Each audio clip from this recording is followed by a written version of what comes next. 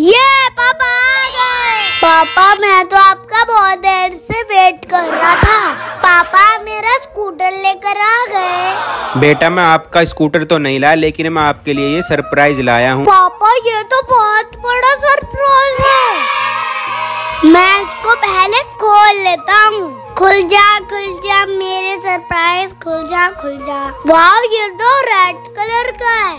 अरे red colour का helmet अरे, ये पापा, क्या सरप्राइज़ लेकर आ गए? वाह ये तो स्केट्स है। अब मैं इन सबको पहन के स्केटिंग करूँगा।